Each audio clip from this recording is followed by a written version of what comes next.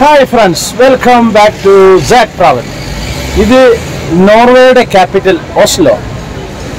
ഓസ്ലോയിലെ lunch കഴിക്കാൻ വേണ്ടി കയറിയതാണ്. നമ്മുടെ ഒരു ഇന്ത്യൻ ലഞ്ചാണ്. പഞ്ചാബ് തന്തൂരി. അപ്പൊ ഈ ലഞ്ചിലെ കാഴ്ചകൾ നമ്മൾ കാണാം. ഇത് ഓസ്ലോ ടൗണിൽ തന്നെയാണ് ഇത് നിൽക്കുന്നത് ഈ ഷോപ്പ്. കൂട്ടത്തിൽ നമുക്ക് ഈ ഓസ്ലോയിലെ ഈ സിറ്റി ടൂറും കാണാം. അപ്പൊ നിങ്ങൾ ഈ എപ്പിസോഡ് മുഴുവനും സ്കിപ്പ് ചെയ്യാതെ കാണണം. എന്നാ പിന്നെ നമുക്ക് എപ്പിസോഡിലേക്ക് കിടക്കാം.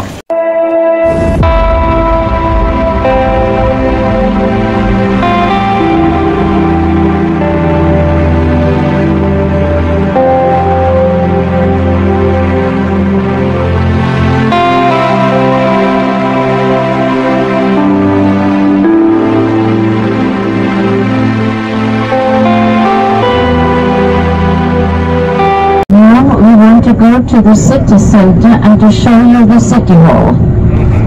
Generals in Norway. Do you have that in India? No. No, seven only, not so many. Look up there. Here on the left hand side you have the ski jump. Here up to the left. Ski jump. Do you want to ski jump? Oh, Oh, very blue. You see that? So we can walk everywhere.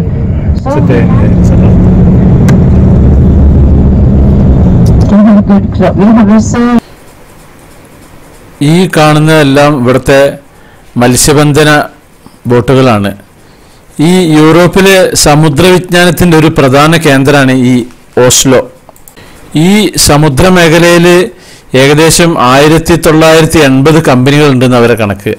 അതിന് പുറമെ എട്ടായിരത്തി അഞ്ഞൂറ് ജീവനക്കാരും ഇവിടെ ഈ സമുദ്ര ഇത് സംബന്ധമായിട്ട് ജോലി ചെയ്യുന്നവരുണ്ട്. അതിന് പുറമെ ഇതിൽ ചിലർ ലോകത്തിലെ ഏറ്റവും വലിയ ഷിപ്പിംഗ് കമ്പനികൾ ഇവിടെയാണ്. കപ്പൽ ബ്രോക്കർമാർ ഇൻഷുറൻസ് ബ്രോക്കർമാർ ഒക്കെയാണ് ഇവിടെ ഉള്ളവർ നെതർലാൻഡിലെ ഹേഗ് എന്നൊരു സ്ഥലമുണ്ട്. അതും ഇതേപോലെ തന്നെയാണ്. ഇതിലും ഒരു വേറൊരു മോഡലാണ് അവിടെയുള്ള ഈ ബോട്ടുകളൊക്കെ നിർത്തിയിട്ടുള്ള ഒരു സംഭവം. ഈ നഗരത്തിലെ പിന്നെ തുറമുഖം രാജ്യത്തെ ഏറ്റവും വലിയ ജനറൽ കാർഗോ തുറമുഖമാണ്. അതിന്റെ മുൻനിര പാസഞ്ചർ ഗേറ്റ്വേയുമാണ്. ഏകദേശം ആറായിരം കപ്പലുകൾ ഓസ്കോ തുറമുഖത്ത് ഇറക്കുന്നത് കണക്ക്. പ്രതിവർഷം മൊത്തം ആറ് ദശലക്ഷം ടൺ ചരക്കുകളും അഞ്ച് ദശലക്ഷത്തിലധികം യാത്രക്കാരും ഈ ഓസോലോ തുറമുഖമായിട്ട് ബന്ധപ്പെട്ടിട്ടുണ്ട്. ഉള്ളതാണ്. സാൽമൻ ഫിഷ് ഏറ്റവും അധികം ഉള്ളൊരു രാജ്യമാണ് ഈ നോർവേ. ഇവിടുന്നാണ് ജാപ്പാനിലേക്കൊക്കെ സാൽമൺ ഫിഷ് കയറ്റി അയക്കുന്നത്. ജാപ്പാനികളാണ് ഈ സാൽമൺ ഫിഷിന് ഏറ്റവും പ്രിയ ആയിട്ടുള്ള ആളുകൾ ഇതൊരുപാട് ഏരിയയിൽ ഇതുപോലെ ഇങ്ങനെ ബോട്ടുകൾ നിർത്തിയിട്ടുണ്ട്. നല്ല ഭംഗിയാണ് ഈ കാണാൻ. പക്ഷേ ഇവിടുത്തെ സാൽമൺ ഫിഷ് നമ്മൾ കഴിച്ചിട്ടുണ്ടെങ്കിൽ നമുക്ക് യാതൊരു ടേസ്റ്റ് തോന്നും കേട്ടോ അത് വെറുതെ ഇങ്ങനെ പുഴുങ്ങിയിട്ട് ഒരു ഉപ്പിട്ടിട്ട് തരിക അത് നല്ലോണം പൊരിച്ച് മസാലയൊക്കെ പുരട്ടി ഉണ്ടാക്കിയിട്ടുണ്ടെങ്കിൽ ഉണ്ടല്ലോ അടിപൊളിയായിരിക്കും. ഞാൻ സാധാരണ ഇപ്പം മറ്റുള്ള രാജ്യങ്ങളിലൊക്കെ നിന്ന് കഴിച്ചത് അവരെ കുറച്ച് സലാഡും കുറച്ച് ഉപ്പും കുരുമുളകും ഇട്ടിട്ട് നല്ല വേറൊരു വെറൈറ്റി മോഡൽ ഇട്ടിട്ടാണ് കഴിച്ചിരുന്നത്. അങ്ങനെ കഴിക്കുമ്പോൾ തന്നെ നല്ല ടേസ്റ്റാണ് അപ്പോൾ പൊരിച്ചാലും കറി വെച്ചാലും അങ്ങനെ ഉണ്ടാവും ഞാൻ ആലോചിക്കുക അല്ല അടിപൊളിയായിരിക്കും. ഇപ്പോൾ ഒരു ടണലിലൂടെയാണ് ഇപ്പോൾ യാത്ര ചെയ്യുന്നത്. Bus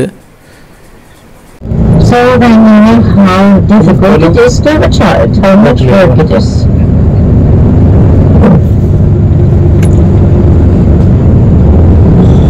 Sometimes they can take the maternity leave, father's leave abroad together to make a holiday, or they do it separately. That's most usual.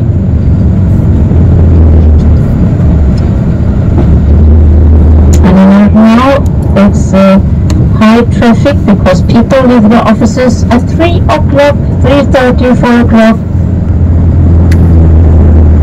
Not many can also work from home, especially since Corona.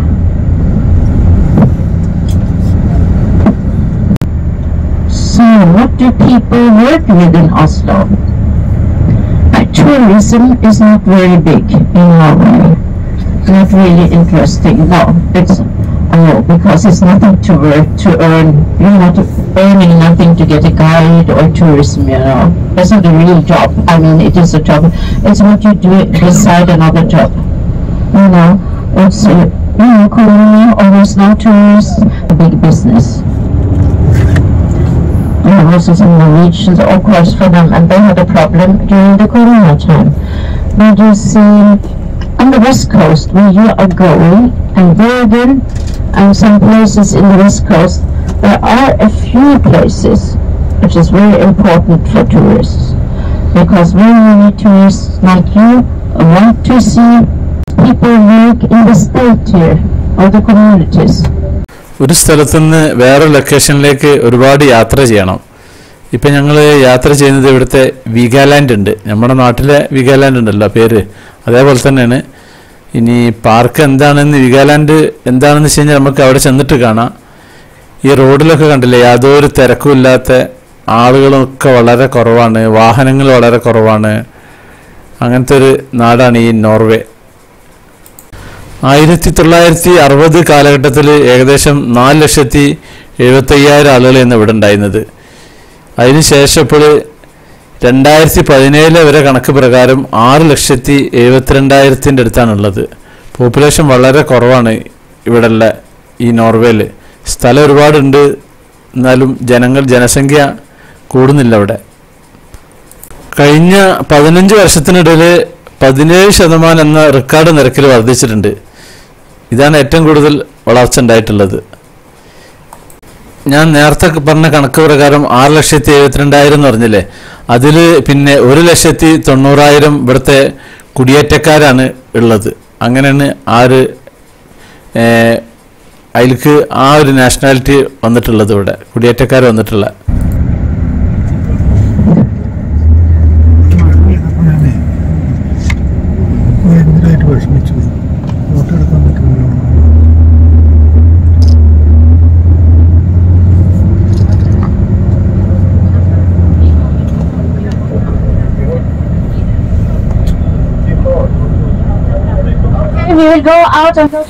ഇനി lunch കഴിക്കണം. അതിന് bus ഇപ്പോൾ നിർത്തിയിട്ടുണ്ട്. പഞ്ചാബ് തന്തൂരി റെസ്റ്റോറന്റിന്റെ അടുത്താണ്. ഒരു Indian ലഞ്ചാണ് കഴിക്കാൻ പോകുന്നത്. അപ്പോൾ ഞങ്ങൾ ഈ റെസ്റ്റോറന്റിന്റെ അകത്തേക്കായിട്ട് കയറിയിട്ടുണ്ട്. പഞ്ചാബികൾ നടത്തുന്നതാണ്. അത്യാവശ്യം ജനങ്ങളൊക്കെ ഉണ്ട്. ഇന്ത്യൻസൊക്കെ ഉണ്ട് ഇതിന്റെ അകത്ത്. അപ്പോൾ ഞങ്ങൾ മുകളിലെ നിലയിലേക്കാണ് കയറുന്നത്. അപ്പോൾ മുകളിലാണ് ഞങ്ങൾക്ക് അറേഞ്ച് ചെയ്തിട്ടുള്ളത്. അപ്പോൾ മുകളിലേക്ക് കയറാണ്. ഉള്ളത്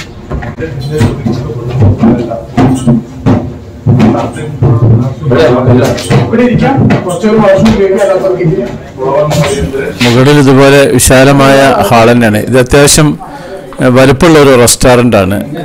സാധാരണ നമ്മുടെ പിന്നെ ഇന്ത്യൻ ലഞ്ചൻ ആയിരിക്കും തോന്നുന്നുണ്ട് അതിൽ റൈസ് ഉണ്ടാവും നമ്മുടെ ബസുമതി റൈസ് നമ്മുടെ വലിയ മന്തി കപ്സയൊക്കെ ഉണ്ടാക്കുന്ന ആ അരി ഉണ്ടല്ലോ.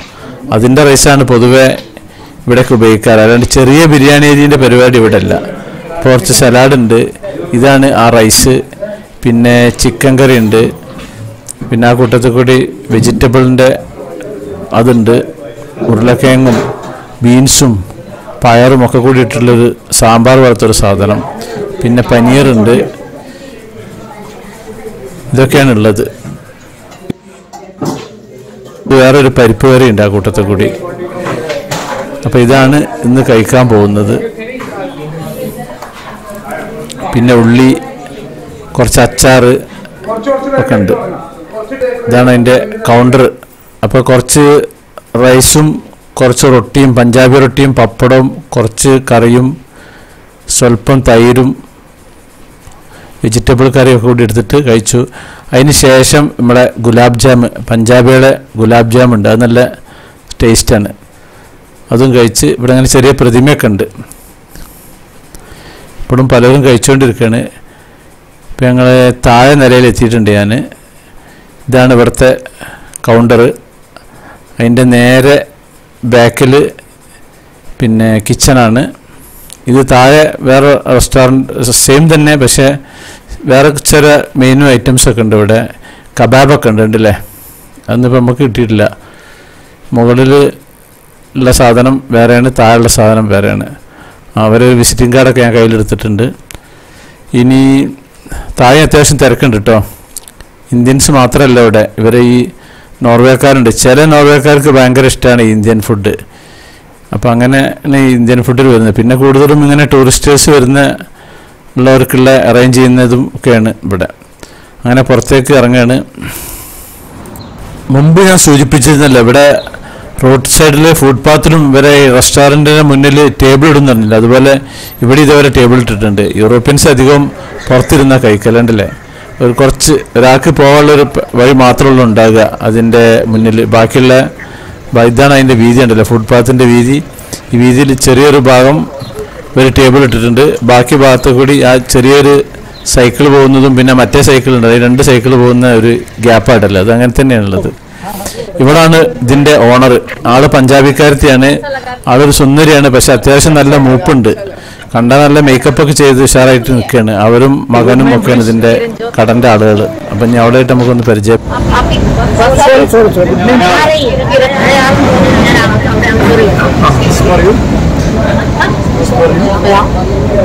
She, she's the owner of the shop. I'm on She's, she's very rich. She got apartment here. Her son is working here. You know? ये हमारे Ah. Ah, how, how are you?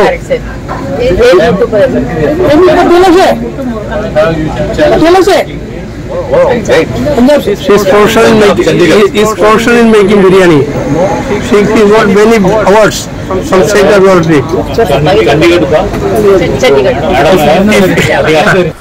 അപ്പോൾ ഈ ഒരു എപ്പിസോഡ് ഞാൻ ഇവിടെ നിർത്തുകയാണ്. ഇനിയും റോവേൻ നോർവേന്റെ പുതിയ എപ്പിസോഡായിട്ട് ഞാൻ വീണ്ടും വരുന്നതാണ്. അപ്പോൾ ഞാൻ സ്ഥിരം പറയുന്ന പോലെ നിങ്ങൾ ആദ്യമായിട്ട് കാണുന്നവരാണെങ്കിൽ സബ്സ്ക്രൈബ് ചെയ്യാൻ മറക്കരുത്. പിന്നെ കമന്റ് ചെയ്യാൻ മറക്കരുത്. പിന്നെ ലൈക്ക് ചെയ്യാനും മറക്കരുത്. പിന്നെ ഷെയർ ചെയ്യാനും മറക്കരുത്. Thank you.